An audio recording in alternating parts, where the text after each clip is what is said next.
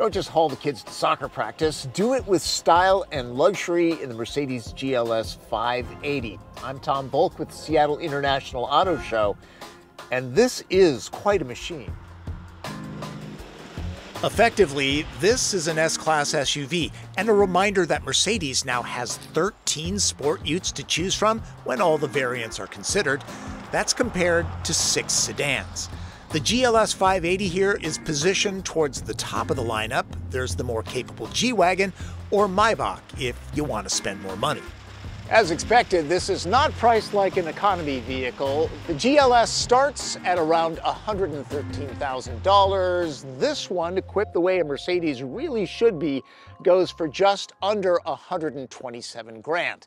Now at that price, you really should cross shop. So you'd be looking at BMW X7, Cadillac Escalade, Land Rover Range Rover, Lexus LX, and if you're Scrooge McDuck and wanting to save a little money, maybe Volvo XC90. GLS has three rows. It seats six or seven, depending on bench or captain's chairs in row two. Major options on this one include a $1,750 white diamond paint job, $1,100 for the acoustic comfort package. I'd go for the 1800 buck pinnacle trim package, not for the heated and cooled cup holders. It's the excellent head-up display. Very nice. After hearing the impressive Burmester 3D surround system, I'd have to spend $4,500 for that. If this were a GLS 450, it would run with a turbocharged 3 liter inline 6 cylinder. The 580 gets its substantial oomph from a 4 liter twin turbo V8. Both powertrains are mild hybrids, by the way. There's 510 horsepower and 538 pound feet of torque on tap. Startup is muted, the engine note is like rolling thunder in the distance.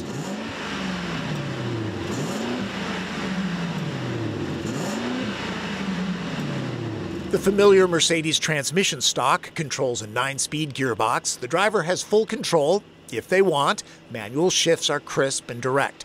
There are extra gauges available. 4MATIC fully variable all-wheel drive is standard, so is Airmatic adaptive suspension. 7.9 inches of ground clearance can be hiked even higher. Among the drive modes is an off-road setting that has all the information necessary for tackling tough terrain or dirt roads leading to the summer house. I've said this before and I'm going to say it again. All-wheel drive is not just for snow. It's also good for conditions like this. It's wet and sloppy. There's loads of leaves on the ground. This gives you extra traction. Remember, it doesn't help you stop, but it does help you go. If I were trying to hit 60 miles an hour in dry conditions, the 580 would probably do that in just under five seconds and would do it in a velvety smooth manner. To think this weighs just over 5,800 pounds. Chances are S Class sedan owners won't be pulling Airstreams and boats. GLS owners can, no fuss, no muss. Max towing is 7,700 pounds or 3,493 kilos. Yes, this is hybrid, but it's a mild hybrid and there is a turbocharged V8 underneath the hood. The EPA rates the fuel economy average at 16 miles per gallon, so not exactly frugal. The six cylinder 450 averages 21 mpg, that's easier on the wallet. Or there's the EQS EV for emissions free luxury. In the normal drive mode, steering is light but still accurate. The GLS is supremely comfortable. Um, and this doesn't even have the optional $6,500 e-active body control system that has cameras that read the road ahead and tell the adaptive dampers what's about to happen. Um, really, can't imagine this being any more comfortable than it is. The list of standard active electronic safety tech, or ADAS, is long automatic emergency braking, blind spot warning, adaptive high beams, active steering assist, and an excellent lane keeping assist. Plus, attention assist monitors some 70 parameters of a driver's activity and suggests that drowsy ones pull over for a Starbucks break. All this should keep wealthy families out of harm's way. This being a mild hybrid, the automatic engine stop start system is exceptionally well done. Almost don't even feel or hear it shutting down.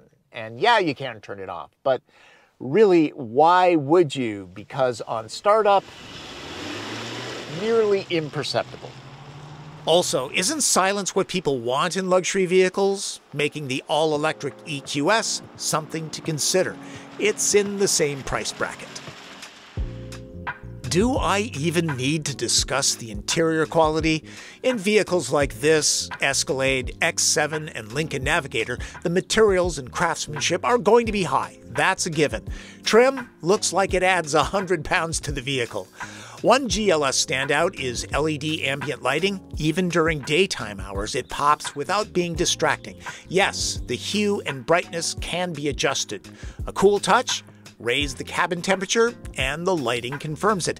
These are the kind of details found in here. The surround view camera system works well for off roading and Nordstrom parking garages. Heat and venting are standard in chairs that offer all day comfort and support.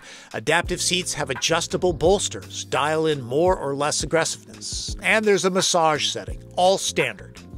The bright, crisp, dual 12.3 inch screens are probably better than any computer display you own, and there's top notch response. Mercedes calls their interface MBUX, and it's one of my favorites.